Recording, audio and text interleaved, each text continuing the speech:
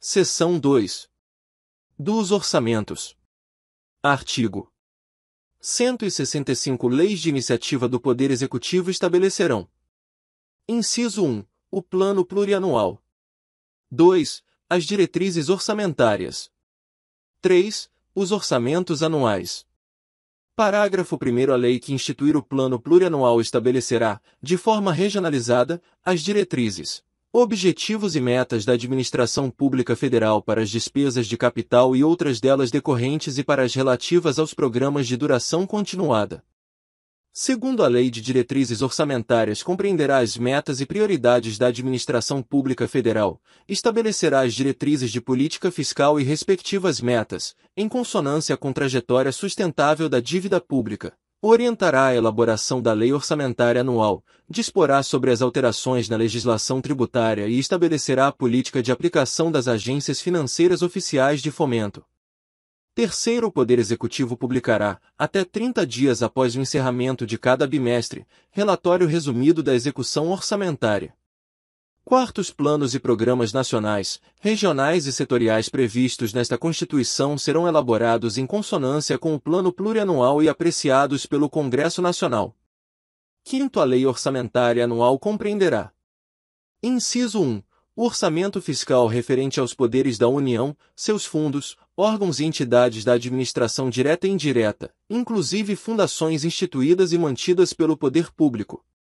2. O orçamento de investimento das empresas em que a União, direta ou indiretamente, detém a maioria do capital social com direito a voto. 3. O orçamento da Seguridade Social, abrangendo todas as entidades e órgãos a ela vinculados, da administração direta ou indireta, bem como os fundos e fundações instituídos e mantidos pelo poder público. Parágrafo 6 O projeto de lei orçamentária será acompanhado de demonstrativo regionalizado do efeito, sobre as receitas e despesas, decorrente de isenções, anistias, remissões, subsídios e benefícios de natureza financeira, tributária e creditícia. Sétimos orçamentos previstos no quinto, inciso 1 e 2, deste artigo, compatibilizados com o plano plurianual, terão entre suas funções a de reduzir desigualdades interregionais, segundo o critério populacional. Oitavo, a lei orçamentária anual não conterá dispositivo estranho à previsão da receita e à fixação da despesa, não se incluindo na proibição a autorização para abertura de créditos suplementares e contratação de operações de crédito, ainda que por antecipação de receita nos termos da lei.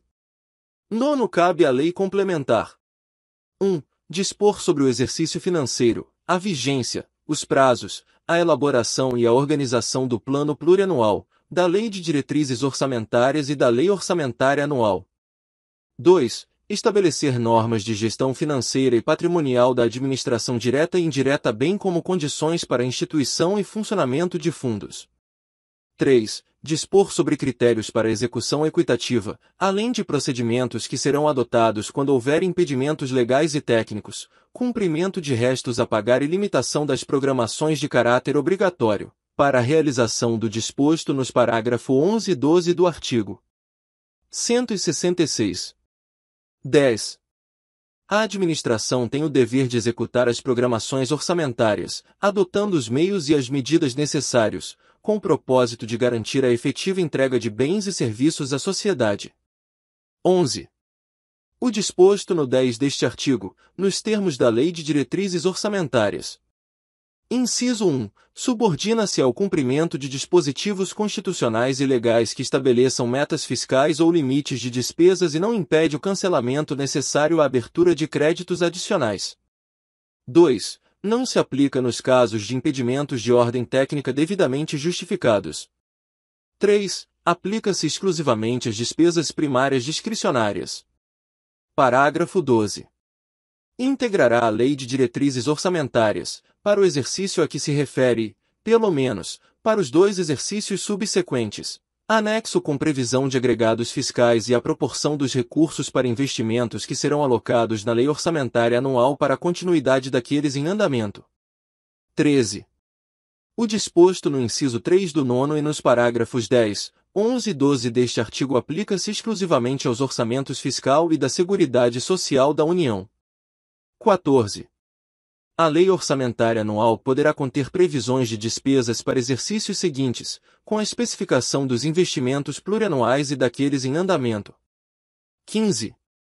A União organizará e manterá registro centralizado de projetos de investimento contendo, por Estado ou Distrito Federal, pelo menos, análises de viabilidade, estimativas de custos e informações sobre a execução física e financeira. 16. As leis de que trata este artigo devem observar, no que couber, os resultados do monitoramento e da avaliação das políticas públicas previstos no 16 do artigo 37 desta Constituição. Artigo 166. Os projetos de lei relativos ao Plano Plurianual, às diretrizes orçamentárias, ao orçamento anual e aos créditos adicionais serão apreciados pelas duas casas do Congresso Nacional, na forma do regimento comum. Primeiro caberá a uma comissão mista permanente de senadores e deputados. Inciso 1. Examinar e emitir parecer sobre os projetos referidos neste artigo e sobre as contas apresentadas anualmente pelo Presidente da República. 2 examinar e emitir parecer sobre os planos e programas nacionais, regionais e setoriais previstos nesta Constituição e exercer o acompanhamento e a fiscalização orçamentária, sem prejuízo da atuação das demais comissões do Congresso Nacional e de suas casas, criadas de acordo com o artigo 58. Parágrafo 2 As emendas serão apresentadas na comissão mista, que sobre elas emitirá parecer, e apreciadas, na forma regimental, pelo plenário das duas casas do Congresso Nacional. Terceiro, as emendas ao projeto de lei do orçamento anual ou aos projetos que o modifiquem somente podem ser aprovadas caso 1. Sejam compatíveis com o plano plurianual e com a lei de diretrizes orçamentárias. 2. Indiquem os recursos necessários, admitidos apenas os provenientes de anulação de despesa, excluídas as que incidam sobre a linha A. Dotações para pessoal e seus encargos. B. Serviço da dívida. C. Transferências tributárias constitucionais para estados, municípios e Distrito Federal, ou. Inciso 3. Sejam relacionadas. A linha A. Com a correção de erros ou omissões, ou. B. Com os dispositivos do texto do projeto de lei. Parágrafo 4 As emendas ao projeto de lei de diretrizes orçamentárias não poderão ser aprovadas quando incompatíveis com o plano plurianual. Quinto, o presidente da República poderá enviar mensagem ao Congresso Nacional para propor modificação nos projetos a que se refere este artigo enquanto não iniciada a votação, na comissão mista, da parte cuja alteração é proposta. Sextos projetos de lei do Plano Plurianual, das diretrizes orçamentárias e do orçamento anual serão enviados pelo Presidente da República ao Congresso Nacional, nos termos da lei complementar a que se refere o artigo 165, nono. Sétimo aplicam-se aos projetos mencionados neste artigo, no que não contrariar o disposto nesta seção, as demais normas relativas ao processo legislativo. Oitavos recursos que, em decorrência de veto, emenda ou rejeição do projeto de lei orçamentária anual, ficarem sem despesas correspondentes poderão ser utilizados, conforme o caso, mediante créditos especiais ou suplementares, com prévia e específica autorização legislativa. Nono, as emendas individuais ao projeto de lei orçamentária serão aprovadas no limite de 2% da receita corrente líquida do exercício anterior ao do encaminhamento do projeto observado que a metade desse percentual será destinada a ações e serviços públicos de saúde. Nono a do limite a que se refere o nono deste artigo, 1,55%, 1 inteiro e 55 centésimos por cento, caberá às emendas de deputados e 0,45%, 45 centésimos por cento, às de senadores. 10. A execução do montante destinado a ações e serviços públicos de saúde previsto no parágrafo 9, inclusive custeio, será computada para fins do cumprimento do inciso 1 do segundo do artigo 198, vedada a destinação para pagamento de pessoal ou encargos sociais. 11. É obrigatória a execução orçamentária e financeira das programações oriundas de emendas individuais, em montante correspondente ao limite a que se refere o parágrafo 9 deste artigo conforme os critérios para execução equitativa da programação definidos na lei complementar prevista no parágrafo 9 do artigo 165 desta Constituição, observado o disposto no parágrafo 9 a deste artigo. 12. A garantia de execução de que trata o 11 deste artigo aplica-se também às programações incluídas por todas as emendas de iniciativa de bancada de parlamentares de Estado ou do Distrito Federal, no montante de até 1%, 1%, da receita corrente líquida realizada no exercício anterior. 13. As programações orçamentárias previstas no 11 e 12 deste artigo não serão de execução obrigatória nos casos dos impedimentos de ordem técnica. 14. Para fins de cumprimento do disposto no 11 e 12 deste artigo, os órgãos de execução deverão observar, nos termos da Lei de Diretrizes Orçamentárias, cronograma para análise e verificação de eventuais impedimentos das programações e demais procedimentos necessários à viabilização da execução dos respectivos montantes. 16. Quando a transferência obrigatória da União para execução da programação prevista no 11 e 12 deste artigo for destinada a Estados, ao Distrito Federal e a municípios, independerá da adimplência do ente federativo destinatário e não integrará a base de cálculo da receita corrente líquida para fins de aplicação dos limites de despesa de pessoal de que trata o caput do artigo 169. 17. Os restos a pagar provenientes das programações orçamentárias previstas nos parágrafo 11 e 12 deste artigo poderão ser considerados para fins de cumprimento da execução financeira até o limite de 1% da receita corrente líquida do exercício anterior ao do encaminhamento do projeto de lei orçamentária para as programações das emendas individuais e até o limite de 5 décimos por cento para as programações das emendas de iniciativa de bancada de parlamentares de Estado ou do Distrito Federal. 18. Se for verificado que a reestimativa da receita e da despesa poderá resultar no não cumprimento da meta de resultado fiscal estabelecida na Lei de Diretrizes Orçamentárias, os montantes previstos no 11 e 12 deste artigo poderão ser reduzidos em até a mesma proporção da limitação incidente sobre o conjunto das demais despesas discricionárias. 19. Considera-se equitativa a execução das programações de caráter obrigatório que observe critérios objetivos e imparciais e que atenda de forma igualitária e impessoal às emendas apresentadas, independentemente da autoria, observado o disposto no parágrafo 9 deste artigo. 20.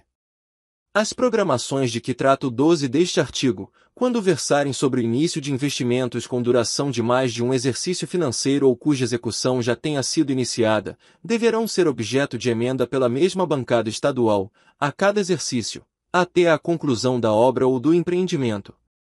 Artigo 166-A as emendas individuais impositivas apresentadas ao projeto de lei orçamentária anual poderão alocar recursos a estados, ao Distrito Federal e a municípios por meio de Inciso 1. Transferência especial, ou 2. Transferência com finalidade definida. Primeiros recursos transferidos na forma do caput deste artigo não integrarão a receita do Estado, do Distrito Federal e dos municípios para fins de repartição e para o cálculo dos limites da despesa com pessoal ativo e inativo, nos termos do parágrafo 16 do artigo 166, e de endividamento do ente federado, vedada, em qualquer caso, a aplicação dos recursos a que se refere o caput deste artigo no pagamento de Inciso 1 despesas com pessoal e encargos sociais relativas a ativos e inativos, e com pensionistas, e 2. Encargos referentes ao serviço da dívida. Parágrafo 2 Na transferência especial a que se refere o inciso e do caput deste artigo, os recursos. Inciso 1. Serão repassados diretamente ao ente federado beneficiado, independentemente de celebração de convênio ou de instrumento congênere.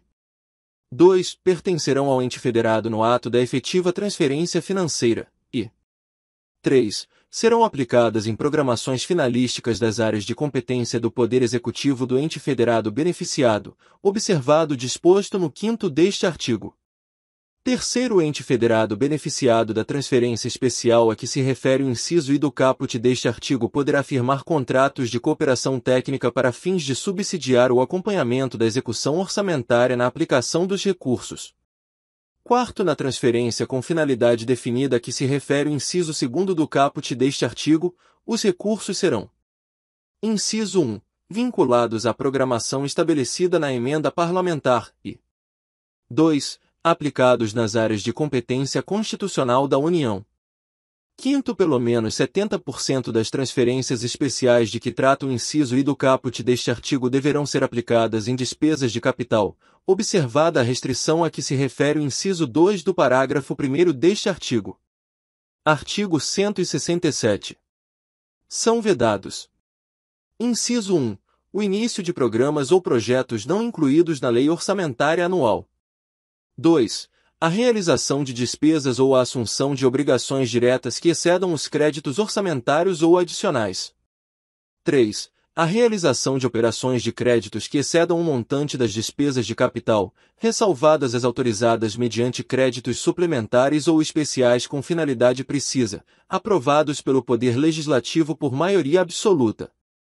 4. A vinculação de receita de impostos a órgão, fundo ou despesa, ressalvadas a repartição do produto da arrecadação dos impostos a que se referem os artigos 158 e 159. A destinação de recursos para as ações e serviços públicos de saúde, para a manutenção e desenvolvimento do ensino e para a realização de atividades da administração tributária, como determinado, respectivamente, pelos artigos 198, parágrafo 2 Artigos 212 e 37, inciso 22, e a prestação de garantias às operações de crédito por antecipação de receita, previstas no artigo. Artigo 165, parágrafo 8 bem como disposto no parágrafo 4 deste artigo. 5. A abertura de crédito suplementar ou especial sem prévia autorização legislativa e sem indicação dos recursos correspondentes. 6. A transposição, o remanejamento ou a transferência de recursos de uma categoria de programação para outra ou de um órgão para outro, sem prévia autorização legislativa. 7. A concessão ou utilização de créditos ilimitados. 8. A utilização, sem autorização legislativa específica, de recursos dos orçamentos fiscal e da Seguridade Social para suprir necessidade ou cobrir déficit de empresas, fundações e fundos, inclusive dos mencionados no artigo 165, 5. 9. A instituição de fundos de qualquer natureza, sem prévia autorização legislativa.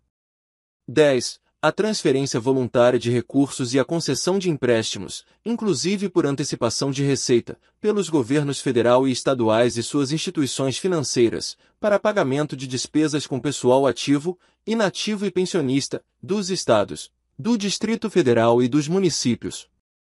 11. A utilização dos recursos provenientes das contribuições sociais de que trata o artigo 195, inciso 1, a linha A, inciso 2, para a realização de despesas distintas do pagamento de benefícios do regime geral de previdência social de que trata o artigo 201. 12. Na forma estabelecida na lei complementar de que trata o parágrafo 22 do artigo 40, a utilização de recursos de regime próprio de previdência social, incluídos os valores integrantes dos fundos previstos no artigo 249, para realização de despesas distintas do pagamento dos benefícios previdenciários do respectivo fundo vinculado àquele regime das despesas necessárias à sua organização e ao seu funcionamento.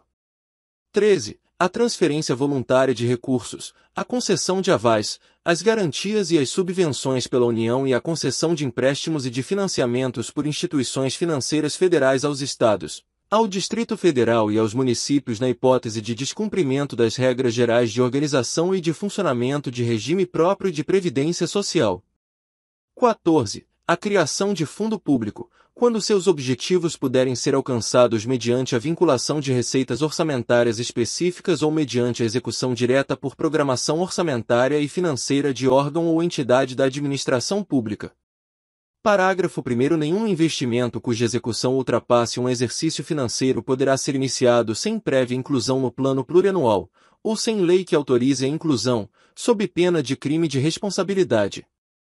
Segundo os créditos especiais e extraordinários terão vigência no exercício financeiro em que forem autorizados, salvo se o ato de autorização for promulgado nos últimos quatro meses daquele exercício, caso em que, reabertos nos limites de seus saldos, serão incorporados ao orçamento do exercício financeiro subsequente. Terceiro, a abertura de crédito extraordinário somente será admitida para atender a despesas imprevisíveis e urgentes, como as decorrentes de guerra, comoção interna ou calamidade pública, observado o disposto no artigo 62. Quarto, é permitida a vinculação das receitas a que se referem os artes. 155, 156, 157, 158 e as alíneas A, B, D e I do inciso e o inciso segundo do caput do artigo 159 desta Constituição para pagamento de débitos com a União e para prestar-lhe garantia ou contragarantia. Quinto, a transposição, o remanejamento ou a transferência de recursos de uma categoria de programação para outra poderão ser admitidos, no âmbito das atividades de ciência, tecnologia e inovação, com o objetivo de viabilizar os resultados de projetos restritos a essas funções, mediante ato do Poder Executivo, sem necessidade da prévia autorização legislativa prevista no inciso 6 deste artigo. Sexto, para fins da apuração ao término do exercício financeiro do cumprimento do limite de que trata o inciso terceiro do caput deste artigo. As receitas das operações de crédito efetuadas no contexto da gestão da dívida pública mobiliária federal somente serão consideradas no exercício financeiro em que for realizada a respectiva despesa. Sétimo, a lei não imporá nem transferirá qualquer encargo financeiro decorrente da prestação de serviço público, inclusive despesas de pessoal e seus encargos, para a União, os estados, o Distrito Federal ou os municípios, sem a previsão de fonte orçamentária e financeira necessária à realização da despesa ou sem a previsão da correspondente transferência de recursos financeiros necessários ao seu custeio, ressalvadas as obrigações assumidas espontaneamente pelos entes federados e aquelas decorrentes da fixação do salário mínimo, na forma do inciso 4 do caput do artigo 7 desta Constituição, Artigo 167 é apurado que, no período de 12 meses, a relação entre despesas correntes e receitas correntes supera 95%, 95%, no âmbito dos estados, do Distrito Federal e dos municípios. É facultado aos poderes executivo, legislativo e judiciário, ao Ministério Público, ao Tribunal de Contas e à Defensoria Pública do ente, enquanto permanecer a situação, aplicar o mecanismo de ajuste fiscal de vedação da Inciso 1. Concessão, a qualquer título, de vantagem, aumento, reajuste ou adequação de remuneração de membros de poder ou de órgão, de servidores e empregados públicos e de militares, exceto dos derivados de sentença judicial transitada em julgado ou de determinação legal anterior ao início da aplicação das medidas de que trata este artigo. 2. Criação de cargo, emprego ou função que implique aumento de despesa. 3. Alteração de estrutura de carreira que implica aumento de despesa.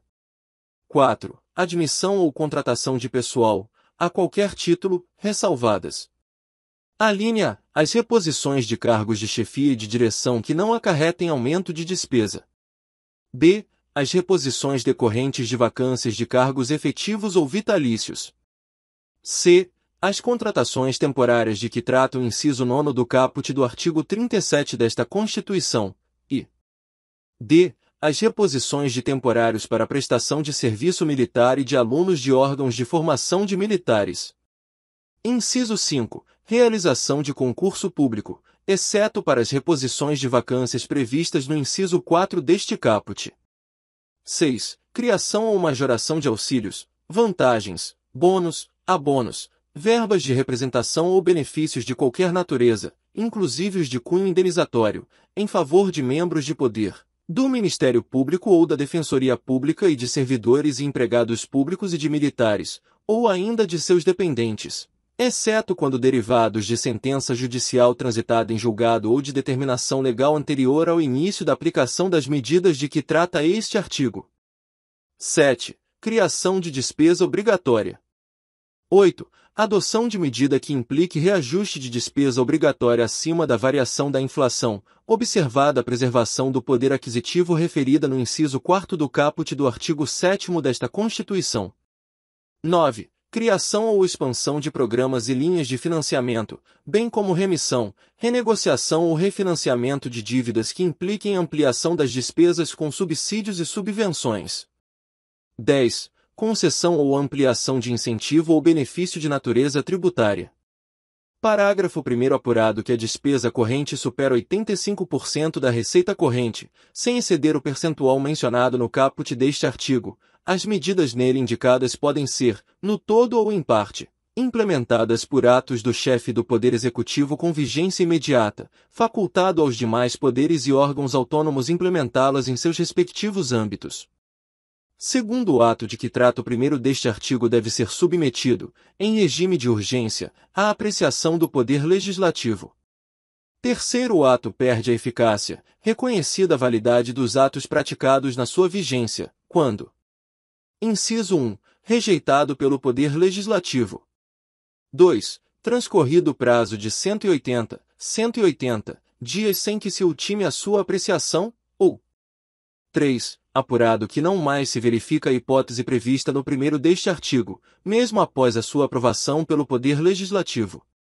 Quarto, a apuração referida neste artigo deve ser realizada bimestralmente. Quinto, as disposições de que trata este artigo. Inciso 1 não constituem obrigação de pagamento futuro pelo ente da federação ou direitos de outrem sobre o erário. 2. Não revogam, dispensam ou suspendem o cumprimento de dispositivos constitucionais e legais que disponham sobre metas fiscais ou limites máximos de despesas. Sexto ocorrendo a hipótese de que trata o caput deste artigo, até que todas as medidas nele previstas tenham sido adotadas por todos os poderes e órgãos nele mencionados, de acordo com declaração do respectivo Tribunal de Contas, é vedada. Inciso 1. A concessão, por qualquer outro ente da Federação, de garantias ao ente envolvido. 2 a tomada de operação de crédito por parte do ente envolvido com outro ente da federação, diretamente ou por intermédio de seus fundos, autarquias, fundações ou empresas estatais dependentes, ainda que sob a forma de inovação, refinanciamento ou postergação de dívida contraída anteriormente, ressalvados os financiamentos destinados a projetos específicos celebrados na forma de operações típicas das agências financeiras oficiais de fomento. Artigo 167b. Durante a vigência de estado de calamidade pública de âmbito nacional, decretado pelo Congresso Nacional por iniciativa privativa do Presidente da República, a União deve adotar regime extraordinário fiscal, financeiro e de contratações para atender às necessidades dele decorrentes, somente naquilo em que a urgência for incompatível com o regime regular, nos termos definidos nos artes. 167-C, 167-D, 167-E. 167F e 167G desta Constituição. Artigo 167-C. Com o propósito exclusivo de enfrentamento da calamidade pública e de seus efeitos sociais e econômicos, no seu período de duração, o Poder Executivo Federal pode adotar processos simplificados de contratação de pessoal, em caráter temporário e emergencial, e de obras, serviços e compras que assegurem, quando possível, competição e igualdade de condições a todos os concorrentes, dispensada a observância do primeiro do artigo 169 na contratação de que trata o inciso 9 do caput do artigo 37 desta Constituição, limitada a dispensa às situações de que trata o referido inciso, sem prejuízo do controle dos órgãos competentes. Artigo 167-D. As proposições legislativas e os atos do Poder Executivo com propósito exclusivo de enfrentar a calamidade e suas consequências sociais e econômicas, com vigência e efeitos restritos à sua duração, desde que não impliquem despesa obrigatória de caráter continuado, ficam dispensados da observância das limitações legais quanto à criação, à expansão ou ao aperfeiçoamento de ação governamental que acarrete aumento de despesa e à concessão ou à ampliação de incentivo ou benefício de natureza tributária da qual decorra renúncia de receita. Parágrafo único. Durante a vigência da calamidade pública de âmbito nacional de que trata o artigo 167b, não se aplica o disposto no terceiro do artigo 195 desta Constituição. Artigo 167-E fica dispensada, durante a integralidade do exercício financeiro em que vigore a calamidade pública de âmbito nacional, a observância do inciso 3 do caput do artigo 167 desta Constituição. Artigo 167-F. Durante a vigência da calamidade pública de âmbito nacional de que trata o artigo 167b desta Constituição. Inciso 1. São dispensados, durante a integralidade do exercício financeiro em que vigore a calamidade pública, os limites, as condições e demais restrições aplicáveis à União para a contratação de operações de crédito, bem como sua verificação. 2. o superávit financeiro apurado em 31 de dezembro do ano imediatamente anterior ao reconhecimento pode ser destinado à cobertura de despesas oriundas das medidas de combate à calamidade pública de âmbito nacional e ao pagamento da dívida pública. Primeiro, lei complementar pode definir outras suspensões, dispensas e afastamentos aplicáveis durante a vigência do estado de calamidade pública de âmbito nacional. Segundo disposto no inciso 2 do caput deste artigo não se aplica às fontes de recursos. Inciso 1. Decorrentes de repartição de receitas a estados, ao Distrito Federal e a municípios. 2. Decorrentes das vinculações estabelecidas pelos artigos 195, 198, 201, 212, 212-A e 239 desta Constituição. 3 destinadas ao registro de receitas oriundas da arrecadação de doações ou de empréstimos compulsórios, de transferências recebidas para o atendimento de finalidades determinadas ou das receitas de capital produto de operações de financiamento celebradas com finalidades contratualmente determinadas. Artigo 167-G. Na hipótese de que trata o artigo 167-B, aplicam-se à União, até o término da calamidade pública, as vedações previstas no artigo 167-A desta Constituição. Primeiro, na hipótese de medidas de combate à calamidade pública cuja vigência e efeitos não ultrapassem a sua duração, não se aplicam as vedações referidas nos incisos 2, 4, 7, 9 e 10 do caput do artigo 167-A desta Constituição. Segundo, na hipótese de que trata o artigo 167-B, não se aplica a linha C do inciso I do caput do artigo 159 desta Constituição, devendo a transferência que se refere àquele dispositivo ser efetuada nos mesmos montantes transferidos no exercício anterior à decretação da calamidade. Terceiro é facultada aos Estados, ao Distrito Federal e aos municípios a aplicação das vedações referidas no caput, nos termos deste artigo, e, até que as tenham adotado na integralidade, estarão submetidos às restrições do sexto do artigo 167-A desta Constituição, enquanto perdurarem seus efeitos para a União. Art. 168. Os recursos correspondentes às dotações orçamentárias, compreendidos os créditos suplementares e especiais, destinados aos órgãos dos poderes legislativo e judiciário, do Ministério Público e da Defensoria Pública, ser-lhes entregues até o dia 20 de cada mês, em duodécimos, na forma da lei complementar a que se refere o artigo 165, nono. Primeiro é vedada a transferência a fundos de recursos financeiros oriundos de repasses duodecimais, Segundo o saldo financeiro decorrente dos recursos entregues na forma do caput deste artigo deve ser restituído ao Caixa Único do Tesouro do ente federativo, ou terá seu valor deduzido das primeiras parcelas do decimais do exercício seguinte. Art. 169. A despesa com pessoal ativo e inativo e pensionistas da União, dos Estados, do Distrito Federal e dos municípios não pode exceder os limites estabelecidos em lei complementar, Primeiro, a concessão de qualquer vantagem ou aumento de remuneração, a criação de cargos, empregos e funções ou alteração de estrutura de carreiras, bem como a admissão ou contratação de pessoal, a qualquer título, pelos órgãos e entidades da administração direta ou indireta, inclusive fundações instituídas e mantidas pelo poder público, só poderão ser feitas. Inciso 1 se houver prévia dotação orçamentária suficiente para atender às projeções de despesa de pessoal e aos acréscimos dela decorrentes. 2. Se houver autorização específica na Lei de Diretrizes Orçamentárias, ressalvadas as empresas públicas e as sociedades de economia mista. Parágrafo 2 Decorrido o prazo estabelecido na lei complementar referida neste artigo para adaptação aos parâmetros ali previstos, serão imediatamente suspensos todos os repasses de verbas federais ou estaduais aos estados, ao Distrito Federal e aos municípios que não observarem os referidos limites. Terceiro, para o cumprimento dos limites estabelecidos com base neste artigo, durante o prazo fixado na lei complementar referida no caput, a União, os estados, o Distrito Federal e os municípios adotarão as seguintes providências. Inciso 1. Redução em pelo menos 20% das despesas com cargos em comissão e funções de confiança. 2. Exoneração dos servidores não estáveis.